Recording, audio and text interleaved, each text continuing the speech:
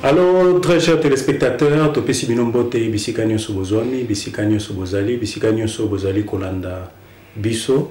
mpe to remercier bino na ndenge bo permettre biso tokota epai na bino sans invitation vraiment j'espère que euh, tokopase moment moko ensemble ya malamu na bino elongo euh, avant na banda nakobanda d'abord koremercier bandeko nyonso oyo babengi biso bandeko nyonso bakomelaki biso na nzela ya email bandeko oyo mpe babengaki biso na nzela ya ya telephone vraiment to remercier bino mingi na ba suggestion na bino na ba reproche na bino donc eh, to remercier bino na nyonso pamba te yango nde ezopermettre biso toleka lisusu koameliore eh, mosala oyo tozali kosala euh, nini moko particulier remerciement moko particulier na bandeko na biso nyonso bazolanda biso na horizon 33 Eh, bobengaki biso ya mingi na ba émission elekaki vraiment ezolakisa ke bozo kolanda mpenza émission na biso na ndenge moko ya malamu vraiment to remercie bino oza ebele moye mpenza totanga bakombo mingi ezali te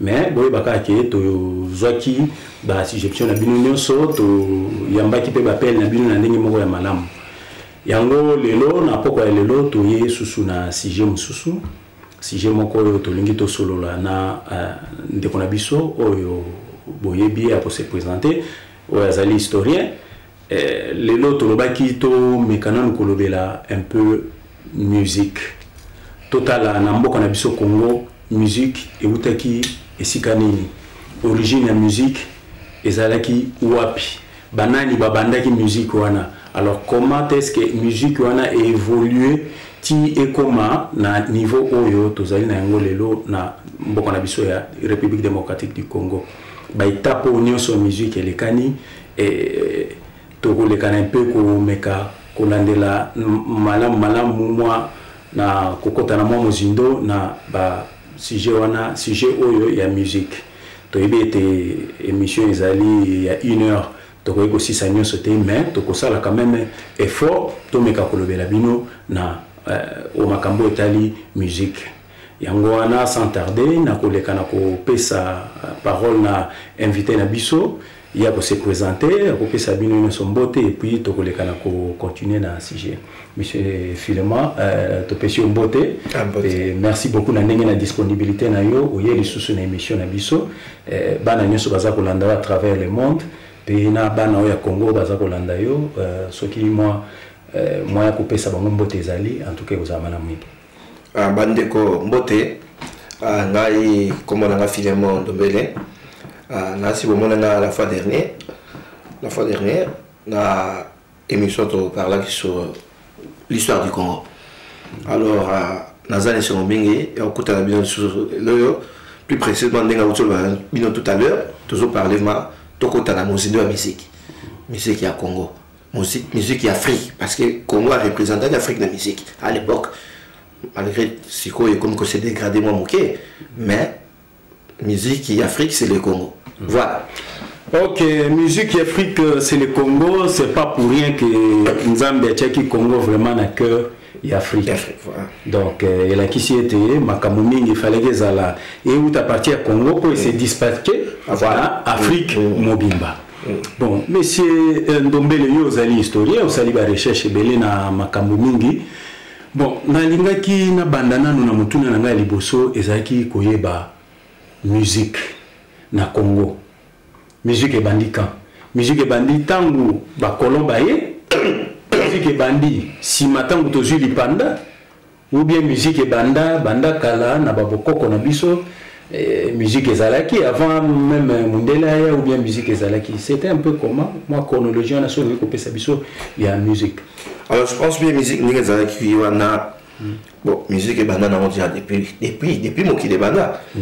mais ezalaki na badimension différente na ndenge ekomaki plus tard mhm. ah, tobandaki d'abord na musique musique ya bavillage bamusike traditionnelle bamusike ya bagroupement ya bato ndenge ezalaki oyo bazali kosangana na kosangana ensemble eh, bapelisi moto baza koyemba tout naturel apelisi moto baza koyemba sans instrument babunda kaka bazobeta ngo bakekele alors au fur et à mesure eza koévolue malemi malemi esi ntango mpe kolo aye akutaki mpe ndenge wana petit à petit tozwi mpe na mayele par kolo na bainstrument misusu je pense que musique eye kobandama bien bien dans les années 40 les années 40 déjà ntango wana auditorium eye kosalama oyo eza kosala badisque je pense que moto ya liboso oyo abimisa palaki mm -hmm. l'auditorium wana euh, c'était wendo colosso l'année 47 juste après la deuxième guerre mondiale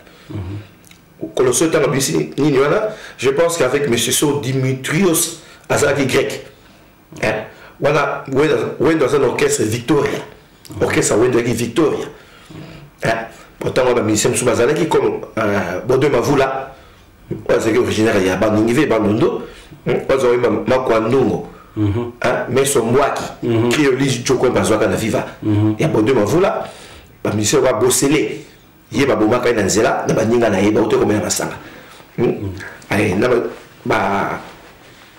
adu enenga mm. ye kutu azwaki problème na bakolo ntango ayembaki ata ndele mo ata ndele ata ndele mokili ye kobaluka ah bakolo babi donc yo olingi mokili yango ebaluka donc seke bino mm. biso boinveste biso na pouvoir mm. colonial mm. nakangaka ye oza apolo kamba oza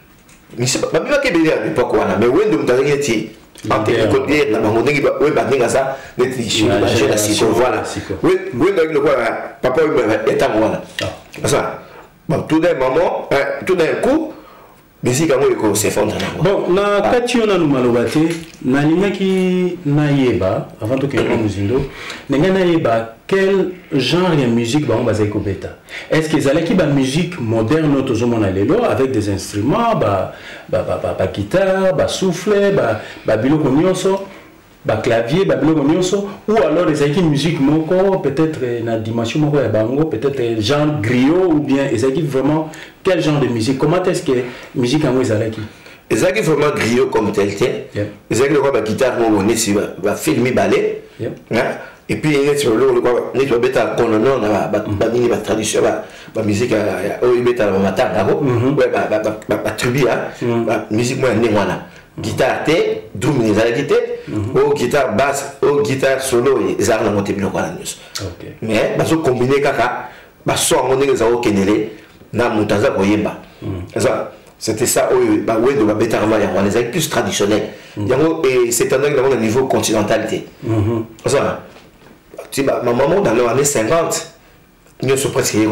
kosila yango mm. eza carence moko esalamaki wana ti 53 sikoyo toyekomana sikoyo musique moderne ekobanda mais sans drum mais ba solo ba fonda minene mhm. hein instrument senti différence mais avec makasi wana ezalaki orchestre african jazz ya joseph kabasele chamala mhm. grand kali grand kali moto asala musique moderne yango mpona ntango akufa na 83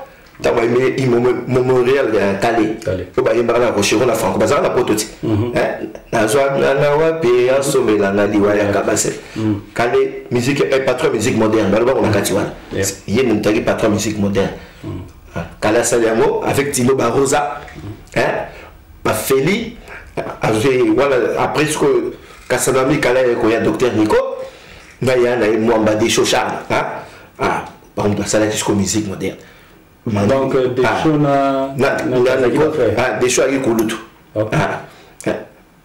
ti baévolue wana bazalaki bon rival azalaki te bayika bango moko banda 53 wana ti 56 donc euh, l'afrique ya jazz mm. ezalaki créé na 53 53 na mois de euh, mois de mars okay. Ah, mois de mars 53 après na 56 na mois de juin Ok, Jazz et Koya. Avec les, jeunes Franco, il avait à peine 18 ans. Hein. Ce qu'on avait si Congolais à Brazzaville, Pandi, Nino, de la Lune, et sous Jean Serge Célestin hein?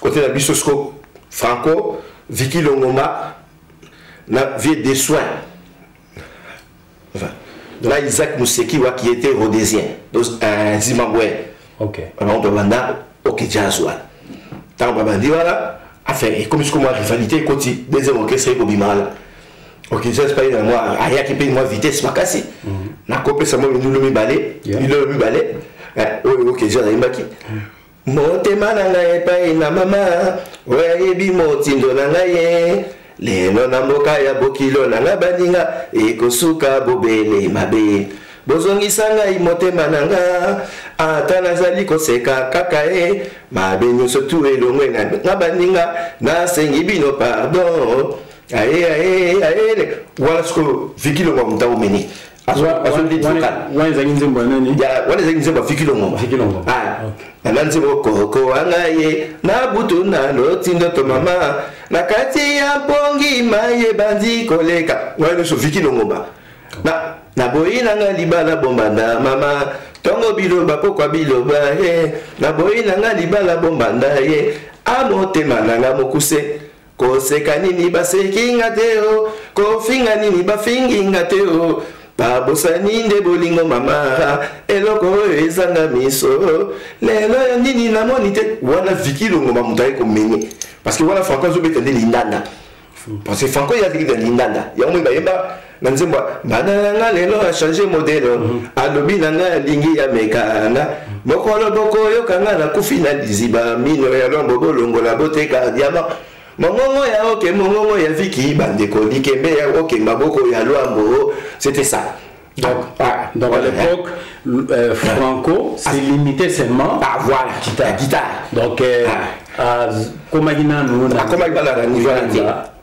plus oyo azalaki kolide na ah, c'était viki longomba ah, victor longomba bisangi ah, le temps basali bongo eleki tomoni na 59 orchestre rokamambo ekobima ya frank lasane faria oh, oza orchestre susu ekobima susu euh, kobantu kobantu ezalaki ya dewayon dewayon ezalaki kulutu ya bokelo isenge wayeba nyama ya zamba ekoki kokoma nyama ya mboka o mm. kaka seko bokolo yango ata boyinanga bokoki mpe kondima nga na nsima kaka seko yamba nga na boboto mama abotanga kutu alobaka na nga mwana ndimaka se pasi ya mokili Tata abota nga elongi kutu nayebi te kaka se masolo ya bakulutu ah voilà wana ezalaki euh, orchestre ya de wayon ah bon après wana tomoni na african jazz mm. rochera ekokota wana ezalaki na banini 59 59 bon ah. totelema nano moke wana eloko na ngai natuna na baannée wana 59 53 tout ça ezalaki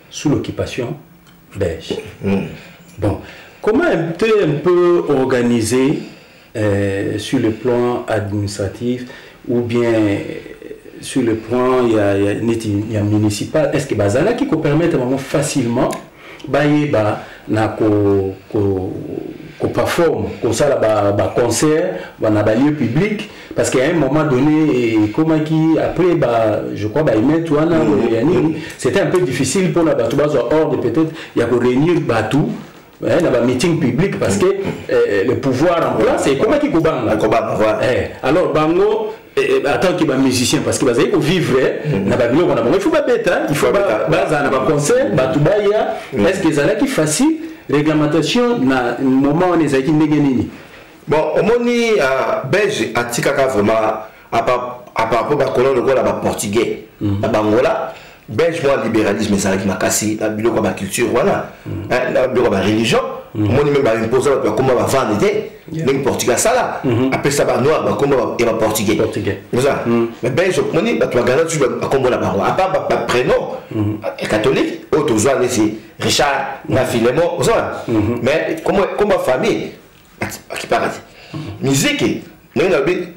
adu elenga ye bakangaki kaka po alobaki ata nde mokili kobaluka mais soit abalolaki monoko alobaki likambo mosusu mm. je pense balinga akanga ye te en tout cas là vraiment c'était permis mm. à partir le 4 janvier nde ti le 4 janvier ti na fin ya 59 wana mm. pro, production ya miziki balingaki susu bato couvre feu komaki à partir ya 18 heures eh, moto libanda lisusu te mm. dabord bakanga dabord franco na mpo ngabi wana kaka mm. eh, na mpo kasavu wana à l'époque mpo ngabi na vespa parce que komaki 21 akoti yango mpe makala oza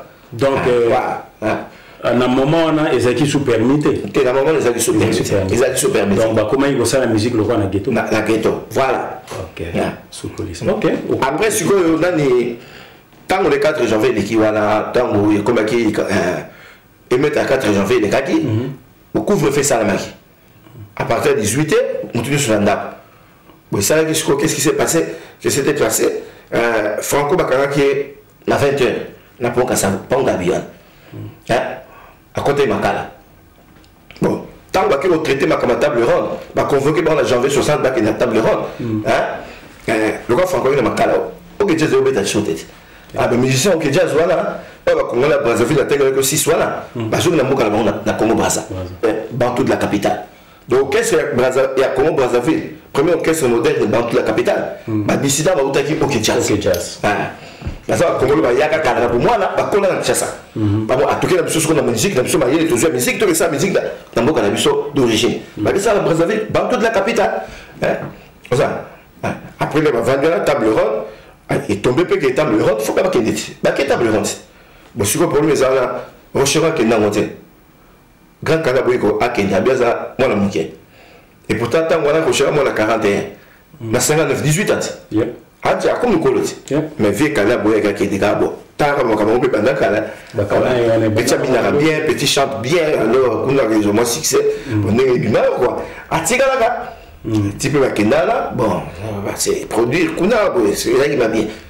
Bon kuna sikoyo pai bamoni sikoyo motu moko boye noir moko boye eh, akatana ye abetaka mwa batrompete nini na grande place ya bruxelles wana batikaki mwa bambongo eh, bourse ekatana so mpe ndenge nini mm. amoni bango abeleli bango abeleli kakali te ah, wana nani mano libango mano libango ah, mano libango oyo akoma makosa wana bango mpe babina ye ah yo obetaka bien bake mpe na répétition abeti mpe trompete kitoko fita ya concert na bango mpe abeti ntango mpe bazongi bazongi na bango kinshasa hmm. leopoldville bamemi mpe bon sikoyo ntango euh, africa jazz bakei babeta na table ronde d'abord babetaki na table ronde bokese ezalaki kama mingi otangeli biso wana bokese e, e, e, esalemaki qu'est-ce qui a fait que choix na bango ezalaki aporte na africa jazz parce que bakokaki mpe kozwa bokese mosusu te ezalaki okese bokese te africa jazz ezalaki ya tete mm. na locomotive bavagon na ye ezalaki bamusicien mm. asalaki sélection nationale ah, azalaki partie ye moto alaki père soki alaki chargé lokola yo moto ali nkolo na miziki ya bamusicien nyonso ya orchestre nyonso mhm. yo mpona bamusicien ya chaque orchestre mhm. bakota neti afrika boya kobeta donc sikoyo tomoni na 55 eh, na, na, na, na 59 mm. bazwi invitation bakei mm. na table ronde mm. bon sikoyo invitation wana eutaki epa banani banani babengisaki bango ezalaki bakote ya bacongolais oyo bazalaki délégation bakei na table ronde ou bien ezalaki babelge oyo bainvitaki bacongolais baya mpo na table ronde bon omoni ndenge kuba bono ayaki na 55 première fois ayaki congo mhm. afrique na tiadi ote kosala na 53 deux ans de chatin mhm. eh, alors sikoyo bacongolais euh, administration coloniale à l'époque koma ayebaki tout ezalaki organisé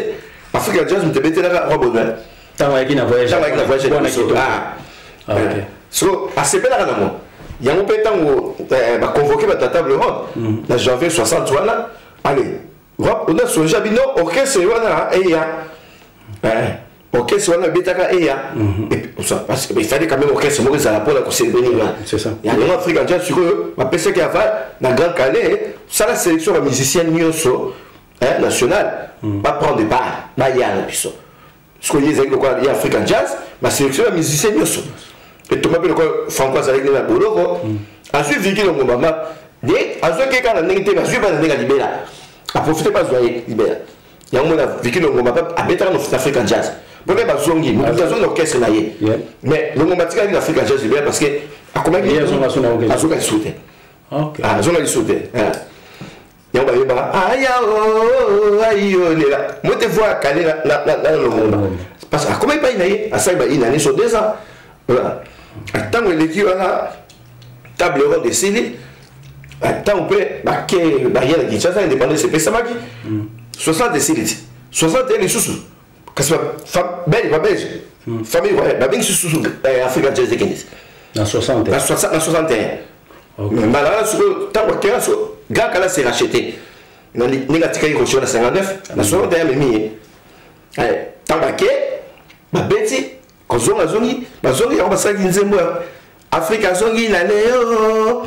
tikani lelo biso tosepela afrika ntango bokendeki biso awa tokondi na kofinga boya bino basokotala o bana afrika lelo oyo bazongi tokoyebisa maloba na biso na motindo oyo tokondi na kofinga Pona bino nde ya bana african jazz eh, bambanda bakomi nde kosambwa bana african lelo oyo bozongi totondi nzambe abateli bino oh nico rochero na mujos roger na desho willi de puissant donc atangi bakoma musicien wana kozonga bazonga ye soko retour wana aza wana lwango opesa bibane njabe oloko lwango ntango soko abimi na 61 wana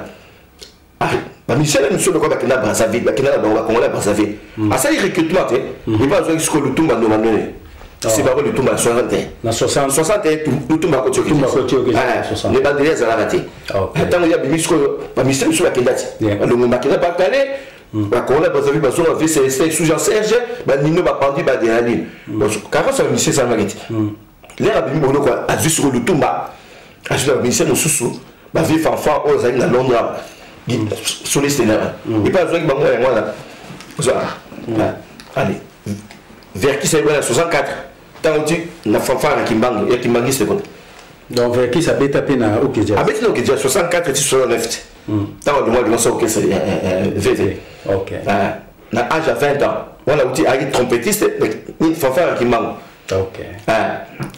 azongi ti wana na 60 après soki ekomi likambo ya ndenge kaka tokomona lelo makambo ya lelo oyo hmm. ezalaki barivalité mona musicien alongo ekoto yake kuna alongo ekoto yake ekoto ye ebanda kala baoyo ya lelo bazwi kaka baherite kaka baherite makambo wana différence tango ya lipo ya lelo ezoleka na ndenge ya ba conflit makasi et puis na ndenge ya ba tribalisme tribalisme ah. hein ba, ba manque de ya ba respect yeah. voilà voilà biloko ya ndenge wana dif na ntango wana ezali kozala mwa bien mais nalingi nalobeli omo est ce que na ntango wana mpe ndenge tokomona lelo okomona nzembo mbwakela mpenza ozoyeba ke nzembo mpenza bayembeli motu boye mosusu kutu bazokende même plus loin ya komentionne même bakombo donc bozoyeba directement bino bapublic boyebi ke intel na intel baza na conflit mais est ce que na baepoke wana mpe mwa barivalité ezalaki na banzembo na bango mpe bambwakela eza kozala hmm, bambwakela ezalaki mais ezalaki ya kobombana ya kobombama kua ezalaki avec respect mm. euh, parce que bako sanctionne mm. à l'époque hein. parceque okopesa biso ata exemple ya nzembo moko oyo peut-être eza caché mais oyebi mm. ke ezalaki mwa mbwakela na 65 ntango mm-hmm. vieux kwami kwami munsi mm-hmm. azalaki musicien ya franco mm. parce que na bino franco azwaki balutumba 61 ntango biboloko asali recrutement azwaki kwami mpe bajeune oyo bayaki sika lutumba bakwami mm. azwi ye mpe azwaki kwami mm. alors euh, kwami évolue na franco depuis 61 na 65 kwami soki akekota na orchestre africa fiesta alongwe mpe franco mm-hmm. ntango akomi kuna bayokanaki na franco te mm. likambo kete te ya balaa mm. ntango akomi kuna sikoyo a composé nzembo faux millionnaire faux millionnaire yango franco hein? to faux millionnaire mm. okumisa kozala mbongo mais bakozala na mbongo te bayimbi yango sikoyo na barochero te mbokela matondo lefisanga yango mbongo nakoya kozongisa o nazali na tembe na bambanda nalingi nalakisa bango ngai mpe nakoka wana bakobanga nga lokola carnet ya chèque ezali na bank na nga atako na banke lome ya esila bango bakoyeba te soki boyokisa ngo bakangi nga bokamwa te baniongo eleka nga na banke lome ya esila siko na kati ya nzembo yango wana hmm. place moko eh, rochereau alobi million ya sango hmm. combien bi ye ko millionnaire epesaka franco kanda donc na yo tabulai e hmm. oyembi na ye mpe yo mpe ozongola million ya sango ya baoyo fo millionnaire bokwakela nga yango ye bareplikaki areplikaki siko chicote titre nango mwana o oh, mwana tikaka nyonso ozali koloba na noko na yo noko neti tabule hmm. hmm?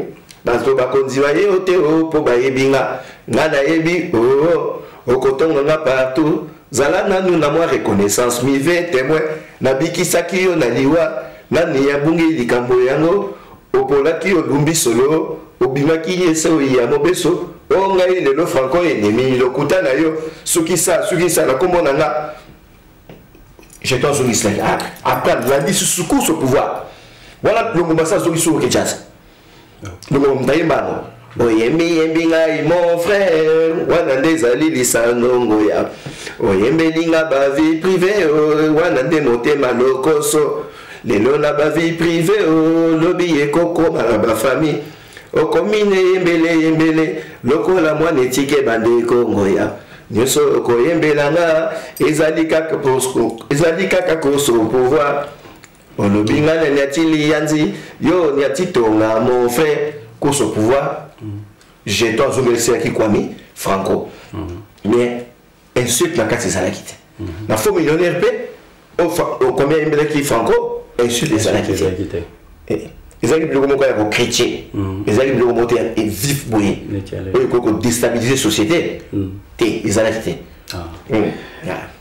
bon euh, nasi bandeko bomoni ndenge tozokende eh, ke musique babiloko mingi mpe toomona lelo ebanda nango kala mm.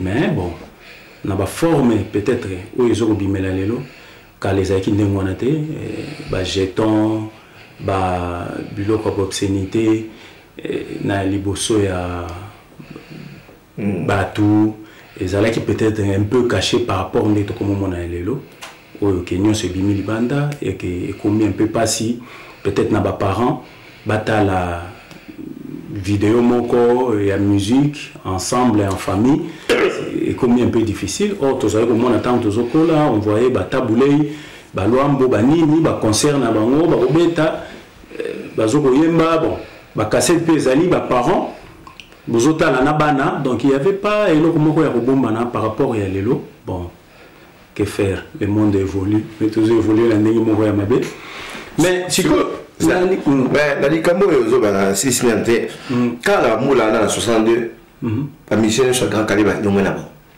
atikaka ye moko grand kale grand kale atikaka ye moko na african jazz bamisio nyonso balongaka Manda Rochero, Mudio Salon Bangolongwe, Vieux Charles Mwamba Desho, mm. Nalek Niji Docteur Nico Balongwe, Vieux Bazis Mwena, mm. hein, euh, Roger Giseyi di Maracas d'Or, mm. Baké Bossa l'Orchestre African Fiesta, en 62, Batiki Grand Calais, Mon African Jazz.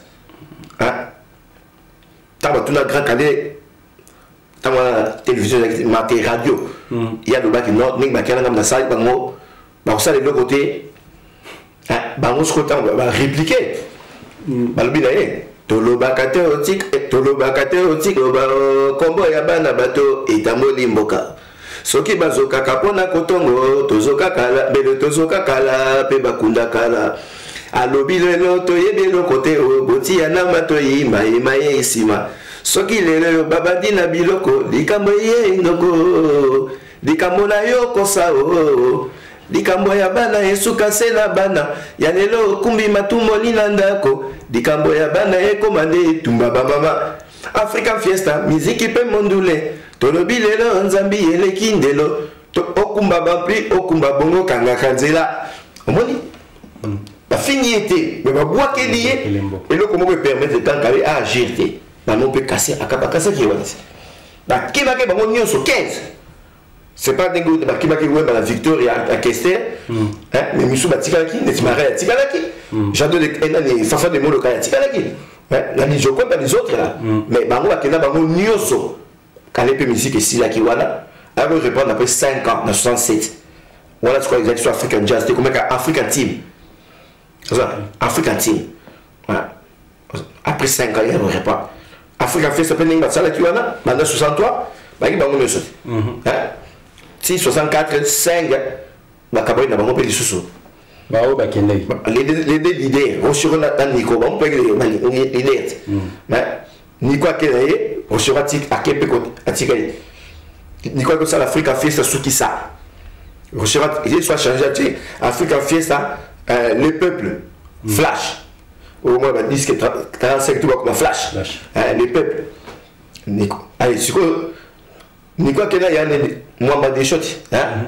na moi musicien mususu rochero batikali siko rochero asa niko asa recrutement na musicien sika mhm. ake azui musicien mona kasai moi ba chantal babomaka ye banzikala kaka azalaki implike makambo wana assassin son père yaki asola lokuta toyebi te babomaka epai ya koso mpe juski kia bokuta wana jeune asola kiambukuta azalaki epai ya niko te kasi abima epai ya niko te avant asala bakende continent asala continental amiziki niko ya moluba bazwi kiambukuta mokongo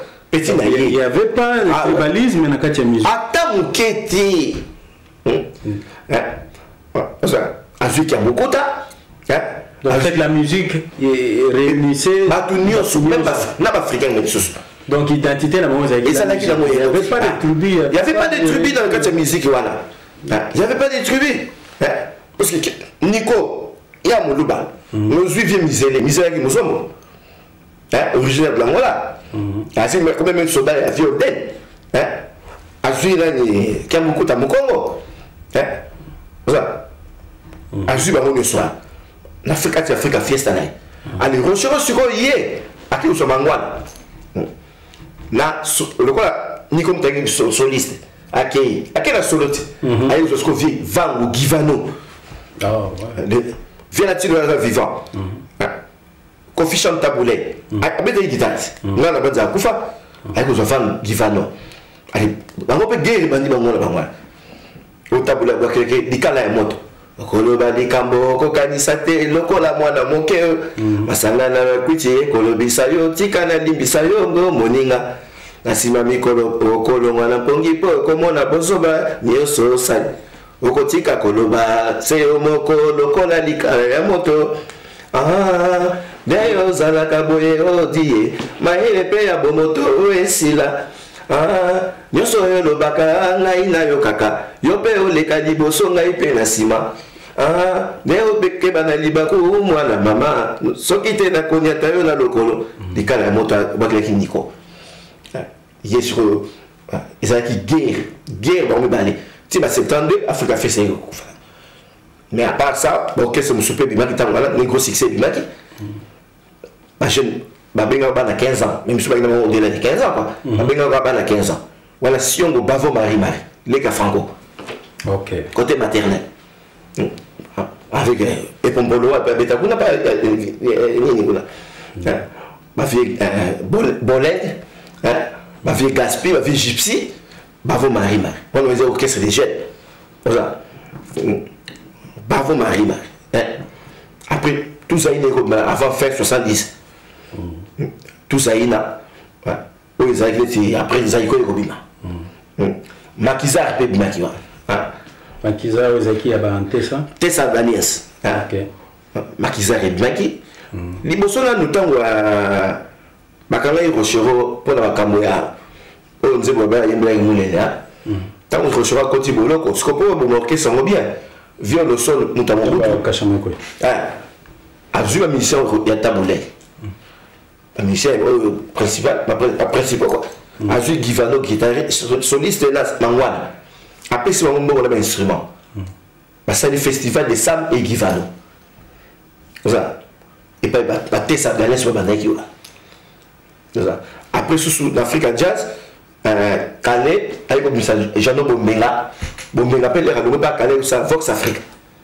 ah, eh, vox africa eyenga style na ngai oyebi hmm. eh, otala kale azwaki so bomenga mongo ye moto asala bomenga azwi meme casino ya congolais de brazzaville lisusu meme te célestin ancien de okejal bazongaka donc bazokipe makambo wana kutu te ça n'existe pas omona moto mosusu ekolo boye azolinga nde kutu ekolo ya koleka ozala C'était comme ça. La musique n'était pas tribale. La musique est exactement tribaliste. Mais ce qu'on m'a dit côté euh, ma chanson éducative, hein, mm -hmm. papa Tala, au moins même l'air qu'on la banzembo mingi toyoka edifia biso makasi na moto tomona epatika bato bazosimba bakisi tout ça mais toyoki tabula ayembelaki biso Ngai na mesana boye nakokufa se na bopovre na ngai banda ya ngai bomwana nazwaka te kaka nzambe nakosambela mosolo ezali nzoka zabulo lokola ezali mpe nzambe ya se mosolo ezali mai ebale mpo ya kotambwisa lavi kasi mposa ya mosolo ekosilaka te bazwa bakende mpe batika ezolobela deja mingi na moto ya moto donc soki na miki kozwa kisi na kozwa na kotika vie mhm. vie ya mosolo mingi na mesana te eh. vie ya moyekedi ye nakoka te eh. naboyi kolimwa sepo ya mosolo eloko oyo nde somo eloko oyo nde somo nzambe boni balimwa mokili ye sepo ya moyeke boni balimwa mabele sepo ya lokumu likolo ya mosolo nzimbula jean tokowelaka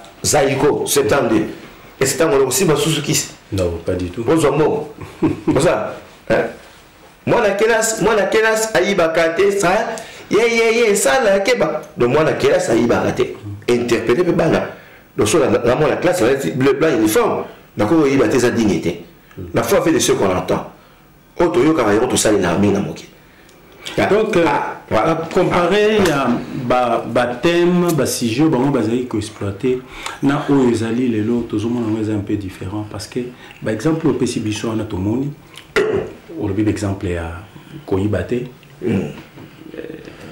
kozala presse na mosolo te voilà offre de donner wana ke mosolo ezali eh, eh, fungola ya bomengo yango mpe ya prison ya prison voilà ezali ya bomengo yango mpe ya cimetière cimetière voilà donc eh, mm. donc l'amour de l'argent ekoki komema yo na nzela wana nyonso otami osala mosala ozwa mbongo na ndenge ya mosolo toye komona susu basujet mosusu eye koya neti bale frère soki hmm. bango mpe bayaki na style na bango moko un peu particulier belabela oui makasi parce que euh, la plupart ya bachanson na bango soki oyoki ezali kaka na éducation sur la société bango bayembeli même nature parce que nayebi tozali bana mike tozokola na radio ozoyoka bazoyemba nzembo wana ya zamba o oh, zamba zamba zamba o oh, zamba zamba e eh. zamba okobokola bibwele zamba okobombaka matiti ye bandeke na likolo bakolela oyoki mpe bandeko baleli pianpian mm. bandeke na likolo bakobanza ye soki zamba kende tosuki wapi ye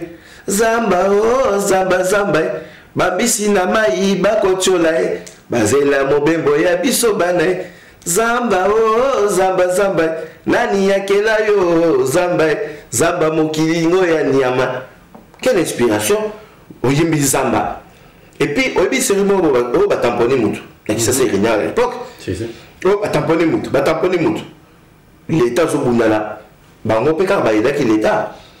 Eh, na nzembo sofele. Sofele palado kumbanga malembe nazali mama ya bana sambo tika na bokolo. Mokumbi ya taxi keba ye, ke, yebaka di ye milimo ya bato osimbi na maboko. Kowela, mo, eh, kowela mosolo ezali pamba mituka etondi okozwa likama liye mibeko ya leta bombaka na motema noki te okomema ngambo ofuta lomande okomema motuka okoyeba te leta afungoli miso alali te sofele nazali kobanga lembisa nanu moke olekisi ndelo ekolbi nini sofele telema tokende na komine obomeli nga mwana na nzela ya kelasi ngai ko mwana moko kaka ya mobali nakosuka wapi na bano ya basi bopusa kowela mosolo tika bomonaka boyengo papa après bazongi susu bino bato ya makolo mpe boyebaka liboso ya kokata tala ngambo na ngambo tala gauche na droite wana baeduke bato nyonso e bapieton e ba euh, na chauffeur azongisi ah, bino bino bato ya makolo mhm. ntango ozoka gauche eza droite eza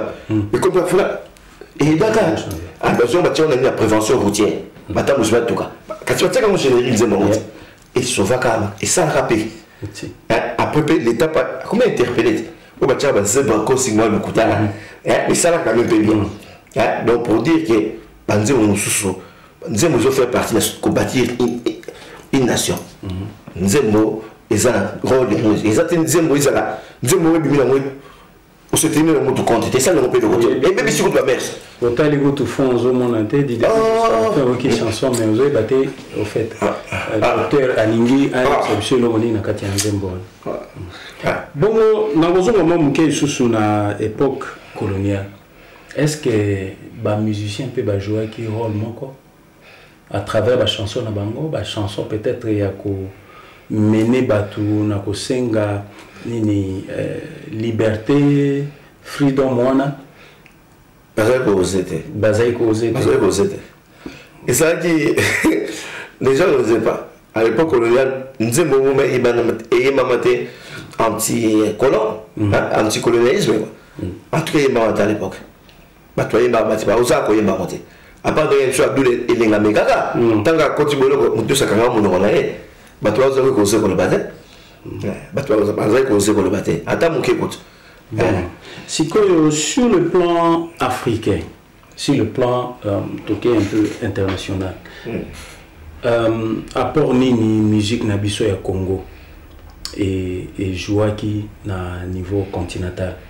Est-ce que ba musiciens wana bazali kaka ko se limiter ya ko jouer kaka na kati ya ya Congo n'est-ce pas so bango bayebi na mboka Congo ou alors na ba moment wana pe bazwaki pe ba occasion ya kokende ko évoluer pe na libanda ko jouer pe na ba salle na ba mboka mususu musique pe e, ezalaki pe exporter na niveau extérieur est-ce que euh, wana pe ezalaki na ba niveau wana exportation salamaka makasi mm. makasi parce que déjà à l'époque wana je pense que Brazza évidemment toyekala Brazza yaka mboka na biso te toyeki mboka moko mais tomonaki déjà omoni docteur ndeko jacke nda meme bande 66 wana na abidjan asala tourne oyo asala nzembo nakei abidjan nake daloa nakomi na bwake bongo na ya mosuku balobi na nga sheri obaluki mosika nazali ye nakolelalela ah, bongo sali mabe munga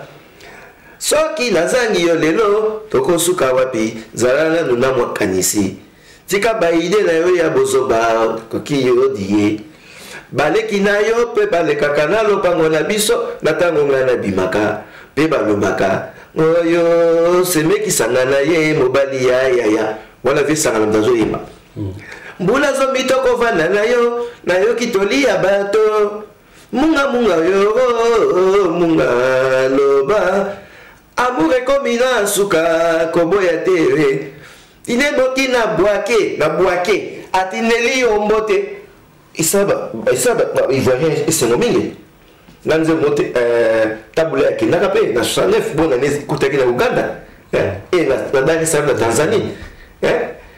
Nzambe ya mpungu asalisi nga, alotisi ngai bolingo na ngai, nalali na ndoto nakomi Kinshasa, bisengo biani na kaferika, bonane na Noele ekomeli nga, awa na Dar es Salaam mosika, Kinshasa komboka elinga bafeti ye, bisengo biani na kafe, hey, mama, wana baoyeba Dieu na ndombe, 69, donc pour dire que bato batambolaka afrique na l'époque mm. bakotambola afrique mingi parce que nini radio ya africaine mm. eza koemettre afrique mobimba ti mm. bamusike wana eza koyeba ja na afrique mobimba yango moni babelabelo bakomaki koya kango papa papa nga na bomwana na banza belabelo aza congolaise mm. la preuve mbili abeli ntango abimaki na nzembo ya kamunga wana ah, ah, obengaka ngai belabelo mm. belabelo tozokobutaka ye malokola na biso mm. yango mpe mirai makeba bazali koya ntango azolite contre apartheid mm-hmm. mirai makeba akoki koya donc pour dire que tout le monde venait là parce que miziki mpe ezalaka wana yango oyo baivore mpe bazwa lelo oza c'est ça miziki yango ezalaka obima tala neti ya festival ya, ya, ya musique mondiale oyo esalama na montréal na canada na 67 african fest ya rocherom tekendaka ti na basala mango wana ntango balongwe kuna baye abidjan yango rocherom asalaka nzembo oyo Oh belle Abidjan métropole, que tu ressembles à Montréal. Abidjan, tu as le monopole, comme ton peuple est si loin. Au fouet douanier Félix, atangisama ya miso koma ekongo na koyebela biso nzembo kitoko baivoire basepela nakenda fete mwa baivoirien batya nzembo wana etikala bango mm. na poko wana ivoirien orchestre ebe ezalaki te epuis lisusu nani euh, comment dirais-je léopold sédar senor mokonzi ya sénégal ya sénégal mm. ye azalaki philosophe écrivain tosala makambo nyonso mm-hmm. akomi nzembo apesi tabule ayemba yango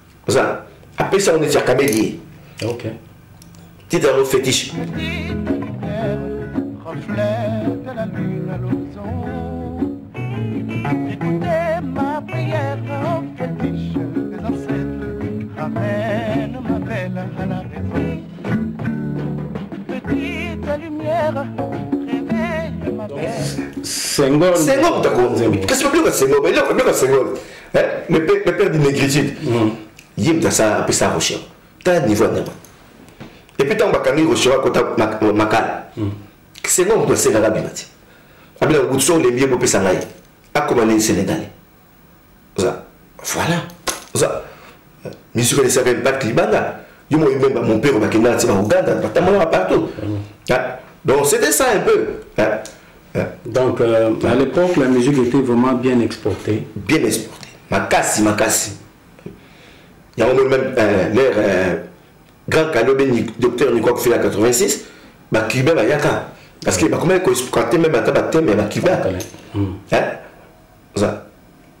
tala niko na afrika fiesta ba rochero bakiba na havane bakamwa koma bakoma bakoyemba nzembo vrai ezalaki mwa espagnol moko na ndenge ya mwa mais ebima vrai yango ndenge akufaki bakiba mosusu bayaka oyoka moto bakiba bayaka c'était ça bazali koexploite bateme mingi bakomi koyemba bana na fo kiba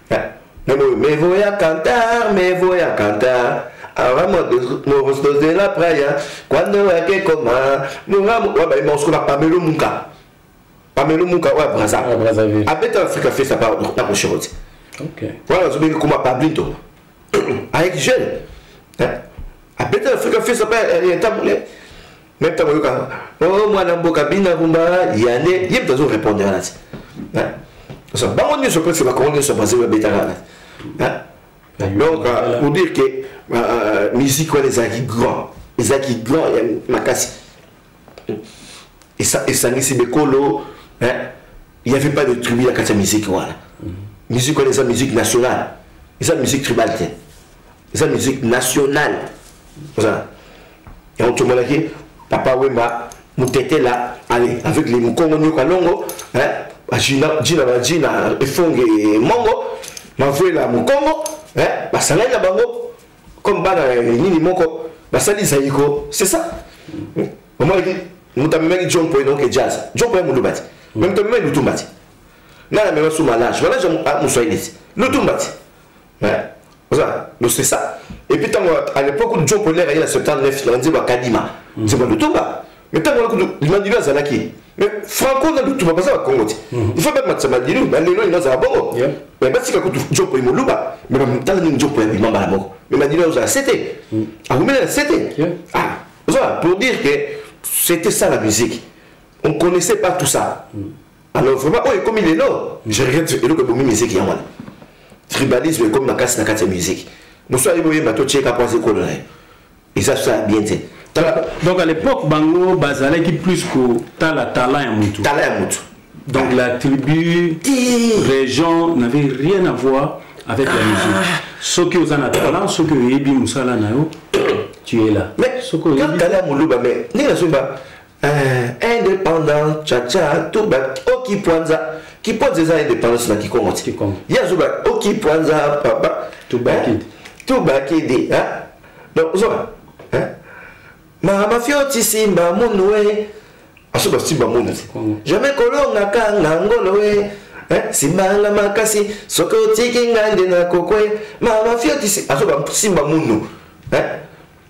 muluba ndenge nini wana eh? epuis moko su mulamba joseph mujos mulamba joseph ti muluba ti asali nzembo akompose nzembo na kikongo finga mama munu oh maria e wana oke jazz oh maria e maria finga mama munu e bake fingaka mama bakala veo bafinga mama mobali te finga mama munu azoyima yango na kikongo eh? tozokoyeba te kiyeki justement eh, ezalaki sikoyo lokola tata bo moko mama bo moko ekolo bo moko hmm. tribune yango na ndako ozala na boye na vie ya baninga okozala na tribu te epuis toyebi mpe bamusicien ekolo na bango te toyekoyeba bango nde na lelo na kitata toyoyeba sikoyo tribu parce que tokomi ata na tribalisme kaka tokoyeba na tribu baningi te meme nga nayeba te marai aza moluba nayekoyeba nga na bebe chandete ta marai ndenge azalaka na papa yo wemba nde nazoko favoriser marayo nde mutekene et puis wemba ndenge bipoli koleka yebike bipoli ayaka fa chéri ya wemba mais mm-hmm. bipoli aza mosolongo originaire ya angola hein? mais congolais déjà parce que abotama na congo mais wemba ndingaka nde mingi ye batetela na viva bazalaka te apart euh, edino oyo azali kosala nina edino na koyongo na mais tout le reste banduna banduna te Ah, tout le monde était là. Donc pour dire quelque part, tolérance ou anako, c'était magnifique. Pour la puissance surtout, tu vivais un mot. Nandimana te l'onne to comme la mal niveau, on peut musique et koufina. Il y a musique et koufina. yango musique ekufi nango vraiment ezali leson moko ah. monene toyebana kolanda parce que musique ezali eloko moko ya monene oyo esali ke lelo congo eyebani à travers le monde économie ekoko marché nango te biloko mosusu ekoko marché nango te mais la musique est percée ekoti bisika nyonso bato oyo bazwi bachance ya kobima kotambola na mokili soki bamoni congolais a ah, référence ya liboso ezalaka toujours bakose référé na musique donc ezali eloko moko ya monene ezali eloko moko mpenza ke richesse moko biso bacongolais esengeli tobatela yango tobatela yango na ndenge moko ya malamu na ndenge moko ya makasi mais c'est dommage ke biso moko kaka bato oyo tosali yango eza lokola oboti mwana okoma oluka susu oboma mwana wana donc eh, ezali mpasi mingi oyo ezali vraiment leson monene biso toyeba na kolanda parce que identite na yo eza kaka identite na yo okoki mm. kobungisa yango te soki obungisi yango okoyeba na kotambola bontaba ndenge balobaka yeah. yango monsieur ndombele tozo continuer toujours euh, nalingeki osala mwa comparaison ndenge tolobaki likambo ya bathème mm. parce que soki totali baepoke ya kala wana bathème oyo ezalaki plus exploité oui bien sûr l'amour ezalaki parmi ba thèmes oyo eza clé na mm. kati ya musique congolaise mm. mais ezalaki na ba thèmes mosusu oyo évoqué awa ndenge ya ba, ba les frères soki bayembi ba zamba bayembi sofele mm. otangi ba exemple mosusu wana bayembiyembi ba biloko wana mais eza sikoyo biloko moko tokoma mona yango un peu rare na musique ya lelo mm. mm. na musique ya lelo eza toloba pratiquement pas hmm. eh, na musique ya lelo soki bayembi bafitilité te ezali nango kaka lamour temo ezo koprime hmm. lamour lamour mais pourquoi euh, yo en tant que historien pourquoi écart pourquoi bato bakite na, na, na voix oyo wana bazalaki na yango ya koyemba sur la société koyemba biloko nyonso ya société lelo etikali kaka thème ya amour c'est parce que l'amour ezofuta mingi ou bien amour eza nango donc mpo na moto nyonso lokola bolingo ezala nango ofele batie nango motuya te donc bato nyonso tokufa na biso kaka wana parce que ekokute biso moins chere mais je pense que mingi eza c'est l'homme Element clé ya mokili c'est l'homme. Mm. Euh, depravation moko esalami ya bamers makasi hein? et puis défi crise moko ekoti na niveau ya moto ya bato oyo abengaka na philosophie indébilité mentale l'âge réel na conduite ya moto ekomi disproportionnel osala omona moto na 40 ans azo raisonne na moto ya 20 ans oza même à l'époque tomonaki ke omona ba mutu ezalaki rare mutu moko akomi na 30 ans bazobeta kike bakoswana na petit ya mike azwi kokende mpa ya milia bato baninga na ye te ya kola na ye awa baswanaka yango bapsychiatre bakotala mwa yango na non awa bacrise ya motu indibilité mentale alors moyo ekoti mpa bato ebele mm.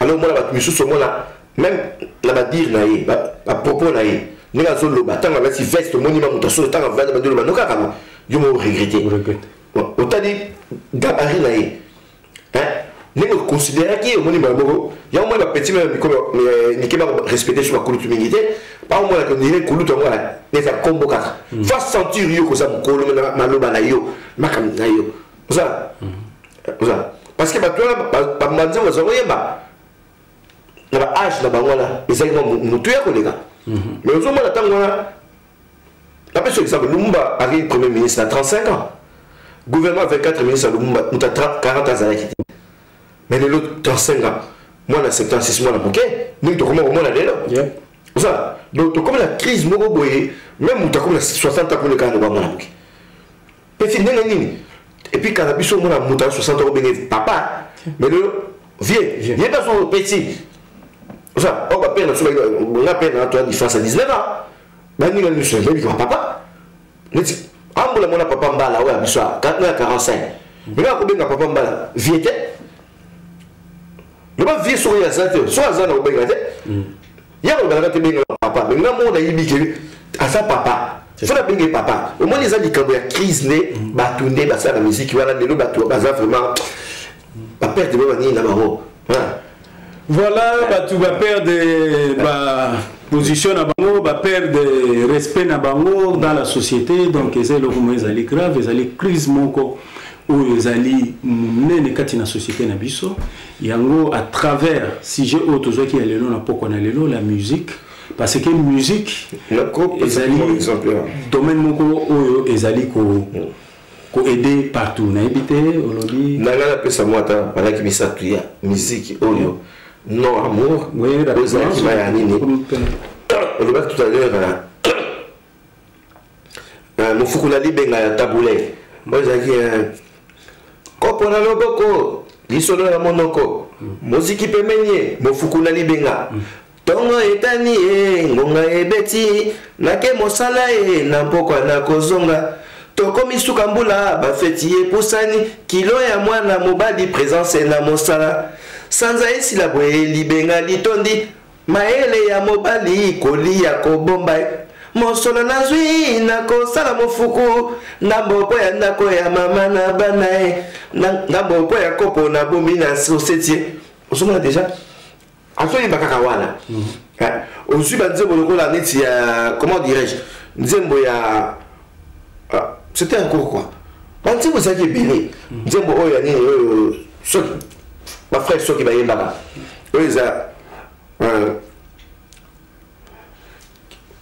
eh, nzambe yokanga mwana na yo nakosenga nasambela yo nakolela ntango nyonso Na, nazali se mwana moko na libota ntina chance eboyanga nakoyeba te diplome na nsimba oyo botutu na nzoto naluka mosala nga nazuwaka te mpasi lisusu nalinga ye nakobanga ye lokola chance eboyanga nakoyeba te jesus naluki mingi mpe nazuwaka te soki pekisi nzambe ye tata obenisa na nkombo na yo nasi nalemi nzoto eba koseke nga mposa nalimwa ve maria ye obimela nga donc aza komilela na botutu na ye azo te azwaka mosala te azobetaka soko histoire sur ye sans amour il y avait plein de chanson ya ndenge wana vraiment euh, ah, ah. exemple opesi eza mpenza ah. ebele parce que eh, bateme échange mingi lelo tokomi mingi plus koexploite l'amour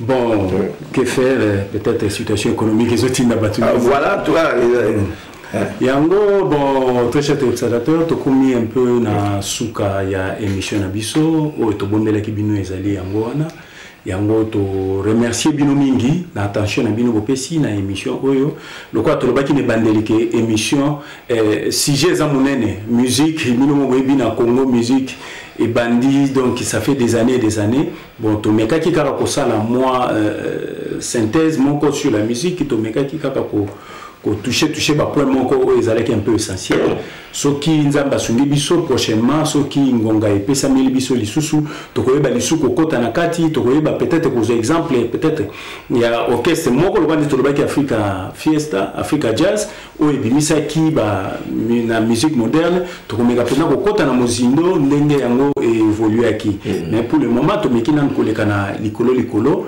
Eh, j'espère que boko comprendre biso mpona ngonga ya ntango yango to remercier bino mingi surtout bino bato ya téléspectateur ya horizon 33 bino bato bozalaki ebele ya kobenga mpe bozokontinue kobenga biso ebele na bino baye bozali kolanda biso mpe na à travers le monde na nzela ya internet na banzela ya bilili nyonso vraiment to remercier bino mingi na attention na bino to remercier bino mingi na support na bino oyo bozali kopesa biso chaque jour Vraiment bo continuer toujours kolanda ba programme ya eh, émission na biso nde boye tokutani na mbala ya sima nzambe abatela bino bisika bozali merci bye